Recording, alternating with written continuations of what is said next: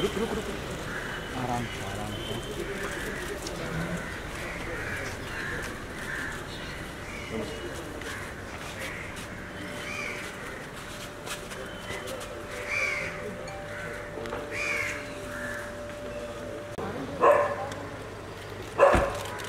दिन